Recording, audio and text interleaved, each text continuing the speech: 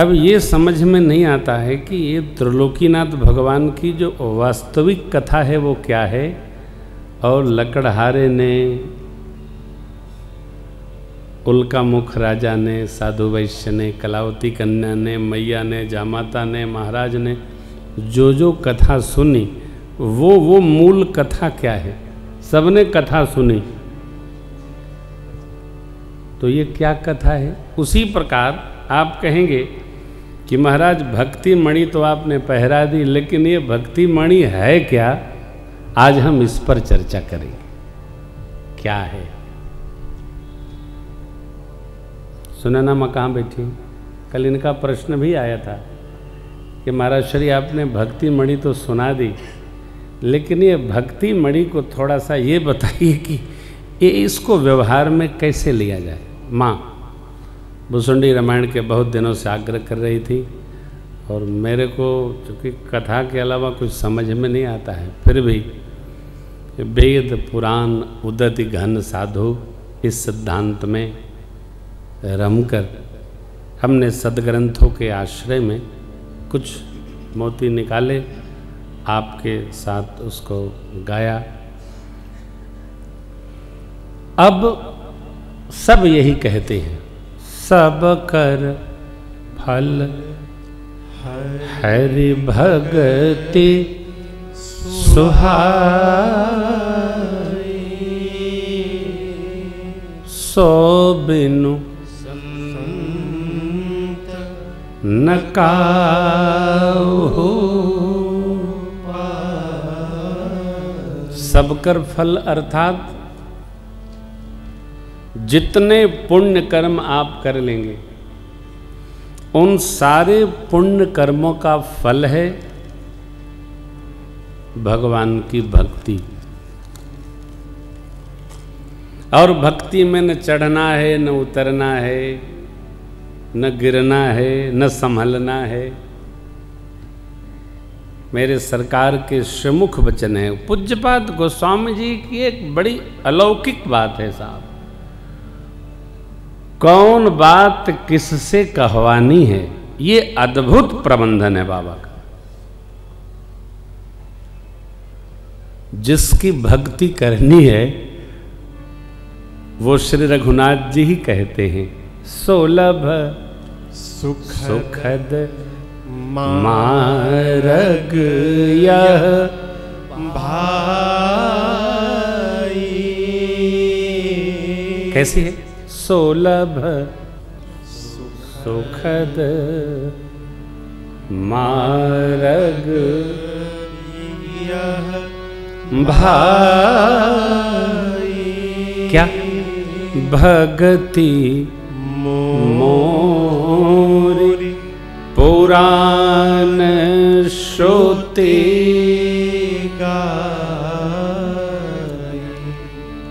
पुराण कल हम आप गाए थे वेद पुराण। भगवत कथा, ये सब समुद्रवत है। संत लोग इनमें से ही रस प्राप्त करके ऊपर ले जाते हैं और मेघ बन करके पूरी धरती पर हरा भरा करने के लिए वर्षा कर देते हैं। सब आनंदित हो जाते हैं। कौन? संत। क्यों? अभी कहा ना। सौ बिनु संत न काहू यह भक्ति बिना संत के किसी को प्राप्त नहीं होती।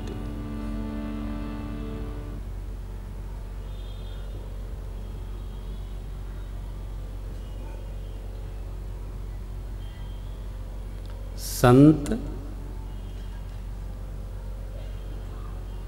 वृक्ष, नदी,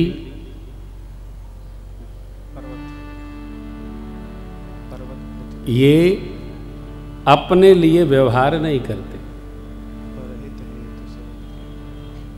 संत, बिटप, सरिता, गिरी और धरनी परहित हेतु सबन कर। पर्वत अपने लिए मड़ी नहीं रखते।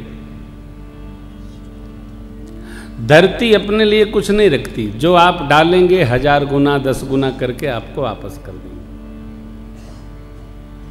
इसी प्रकार परमात्मा भी अपने पास कुछ नहीं रखता। क्यों? अरे वो तो भरे भंडार है। अब यहाँ ये बात समझनी है। बड़ी सूक्ष्म बात है। जब भी भगवान को समय देने का, धन देने का, मन देने का, जन देने का समय आता है तो आदमी मन से कंगाल हो जाता है, धन से अभागा हो जाता है और स्वभाव से दरिद्र हो जाता है। कठोर है। हम आपके बारे में नहीं कह रहे, हम अपने बारे में ही कह रहे जब भी भगवान की भांजी आती है ना तो हम कंगले हो जाते एक बार लखनऊ के वरिष्ठ पत्रकार आदरणीय अजय मामा जी हमको एसएमएस भेजे। उसमें प्रश्न था, महाराज, श्री हज़ार की नोट कब छोटी लगती है, कब बड़ी लगती है? मामा जी, स्मरण है आपको? हमारे प्रधान जी आगे। जय हो जय हो। प्रधान जी कुछ और पूछ सकते हैं। तो मैं उत्तर नहीं दे पाया। फिर हमने कहा, मुझे नहीं पता, आप भेजिए। तो इन्होंने भेजा और बड़ा अच्छा अद्भुत उत्तर है। देखिए, बोले, हज़ार की नोट तब बड़ी लगती है जब मंदिर में देना हो। और हज़ार की नोट तब छोटी लगती है जब होटल में पेमेंट करना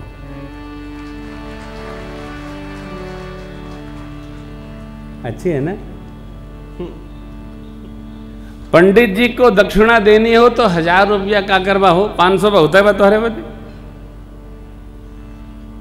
लेकिन जब हम अपने विषय वासनाओं पर उसको उपयोग करते हैं तो हमको लगता है, लेकिन ध्यान रखिएगा भरथरी महाराज कहते हैं कि भगवान में साधु वृत्ति से मन, धन को एक तरफ़ करिए। धन कोई महत्वपूर्ण विषय नहीं।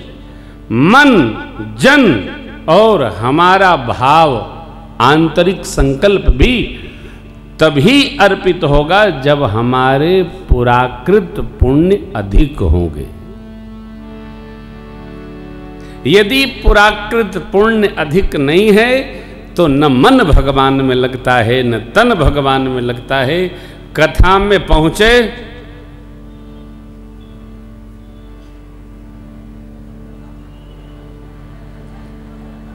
गए। प्रयोग है, कोई सोए तो जगाइएगा मत। पुण्य ही कनवा को खड़ा रखता है हो। आँख अपने आप नहीं लगती है, प्रमाद घेरता है।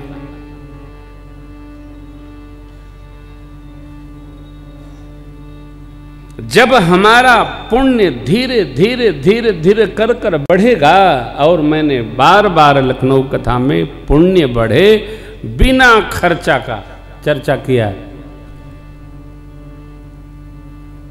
सबका फल हरि भक्ति। भक्ति क्या? सत्संग। इससे क्या होगा? विवेक जग जाएगा। जब विवेक जगेगा तो चित्त में सुमति और शांति रूपी रानियों का आगमन हो जाएगा। चित्त राजा है। शांति विवेक जगते ही मति सुंदर हो जाएगी। दूसरे की वस्तु देखकर लोभ नहीं जगेगा। दूसरे को त्रास देने का मन नहीं करेगा। किसी की निंदा हम नहीं करेंगे। अपना साम्राज्य रहेगा, अपना आनंद रहेगा। परसों आपसे जो कह रहे थे मनुष्य की बुद्धि 35 वर्ष के बाद परिपक्व होती है। जब 35 वर्ष का मनुष्य होता है तो कोई विशेष समस्या भी आती है तो उसको टालता है। चलो कल विचार करेंगे शोध है नौजवान की बुद्धि परिपक्व नहीं होती है, उसको समय दिया जाए। पकने दीजिए। अरे जब हनुमान जी महाराज को जामवंत बाबा ने जगाया श्री हनुमान जी ही कहते हैं आप सिंहनाद करी बार ही बारा ली लही नाघो जल निधि खारा सहित सहाय राव नहीं मारी आनो यहाँ त्रिकोट उपारी जाम मंत मैं पूछो तो ही उचित सिखावन दी मोही। जब श्री हनुमान जी की ये गति है तो नौजवान की क्या गति होगी? नहीं। युवान भाई भी जब सत्संग में समाहित होगा, समर्पित होगा, उसकी बुद्धि में विवेक जग जाएगा। और जब बुद्धि में विवेक जग जाएगा तो किसी भी व्यवहार के लिए निर्णय लेने की उसमें क्षमता का आगमन हो जाता है। जब तक सत्संग की प्राप्ति, कहते हैं, ये कथा भागवत आवश्यक क्या है? क्यों आवश्यक है? इसीलिए आवश्यक है भैया कि बिना कथा सुने, बिना सत्संग पाए विवेक नहीं जगता है। और कथा बिना इनकी कृपा के नहीं मिलती। जबरन बुलाना पड़ता है। जबरन खींचना पड़ता है हो। थोड़ा हल्का करो आप पर कितनी कृपा है। आप तो सुनते ही रहते हैं। हैं। अगली कथा, बलरामपुर 27 जून से 5 जुलाई।